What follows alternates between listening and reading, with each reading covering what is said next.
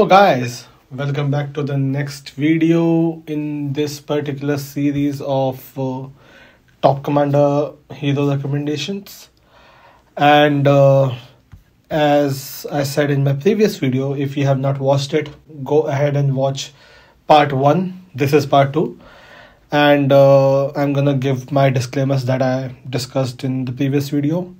This is gonna be a set of four videos this will be a controversial uh, series of videos, so keep in mind that these are my opinions from my experience so far. And if any of these does not apply to your gaming style, please follow what suits your gaming style. You don't have to necessarily do or the proceed the way I recommend. Totally, it's up to you. And uh, thirdly, I'll add this disclaimer in all the videos uh, I'm making these videos because I got questions regarding which hero to pick in Top Commander since we have choices now. And based on everybody's gaming style, the recommendations will, be different. Uh, with that, let's move on to the next set of, uh, uh, you can say, type of heroes, uh, which will be riders this time and for riders so far we don't have any new hero that you know in pipeline to be added. So we can see that there are gonna be two cycles with two heroes. And uh, if you like you can pick one hero in each cycle and uh, acquire both of them. If you see value in both of them that is. Because i say this because uh, in top commander even with say uh, ranking rewards. Overall ranking, you get 200 of the top commander fragments. Uh, the hero fragment for that top commander, and you need around, if I'm not wrong, seven six hundred seventy five something like that, uh, to actually awaken a hero.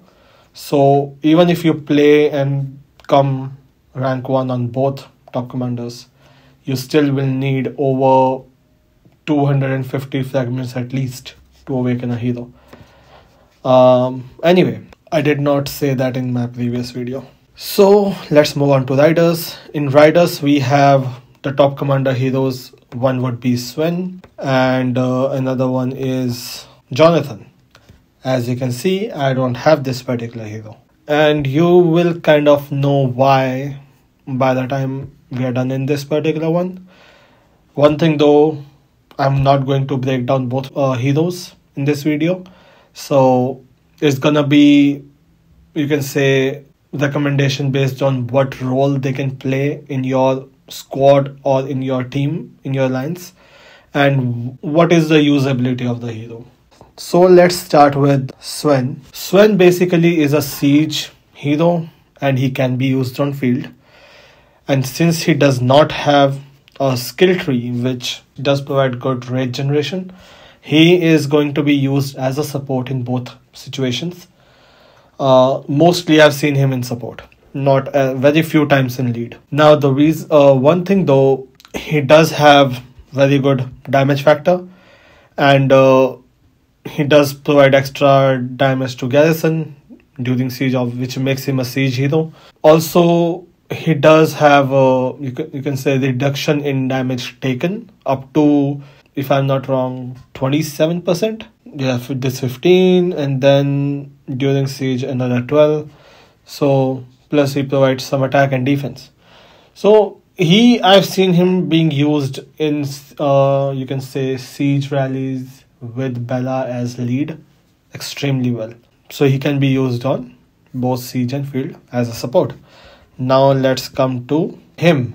I have not seen him on field and never fought him. I don't know who has this particular hero who actually use him on the field. I never fought this guy. So I would say if somebody has a report of using him on field, please share. I would like to see how it goes. But so far what I know from all his skills, he is primarily a counter rally hero that you can potentially use on field. In both cases, he's going to be in support, but as a rider hero, I have better options than him because rider's basic, you can say, thing is you hit hard, you run. He can potentially hit hard when it comes to his uh, awakened skill. He can hit hard. He does have uh, you can say HP reduction on enemy, but he does not have, if I'm not wrong, any kind of increment in speed. He doesn't provide speed buff, and he is a rider hero. Which is, you can see where I'm going, like why I have not seen him used on the field for good reason. Again, not gonna go in detailed analysis of him,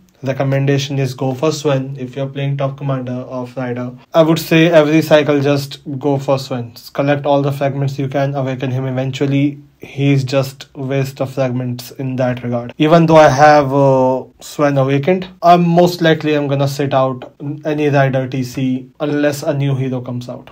I'm not gonna be wasting any of my speed ups or anything for Jonathan. So uh, that's a TC recommendation. Now next is uh, roulette. For roulette, we have good options. They could have been TC heroes, but I would like to you know compete for them. Bella and Elena, both are amazing heroes. If you can, if you are running, uh, sorry, spinning your roulette, if you can spin half for one, spin half for the other, both are both are really good. I have both of them. Now let's go for the uses. Both of them are good for field. Both are good for siege. Uh, Bella is good for siege primarily because and she's gonna be lead. So let's talk about Bella first. She's a field and siege hero and she's gonna be leading in both situations. And uh, who can she lead? She can lead Sven.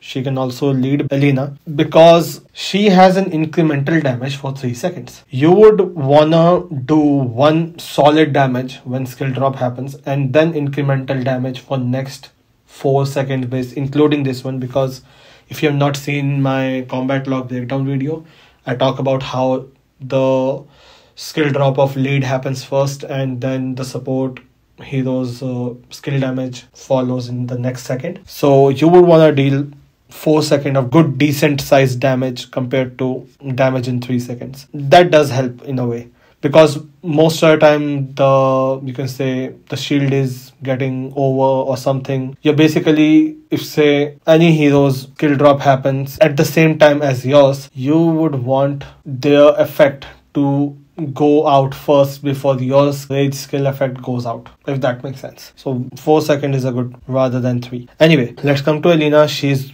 amazing on field. She shines when the enemy target squad that she's hitting is being flanked. She's gonna increase the damage on that target so much that target is gonna die very very fast. That being said if you're running her on rally with uh, Bella, and if you say even one other squad is flanking, her flanking skills like this increased damage factor and then this 13% extra damage on top of that, she is good for that. So, recommendation which one to go for? I like both of them go for Bella first, but do take both of them. So with this, I think I have concluded uh, the topic that was in hand. In next video, I'm gonna talk about ranged in the same way. And in the fourth video, I already mentioned, it's gonna be which heroes to go for combined in infantry, rider range, depending on different playstyles.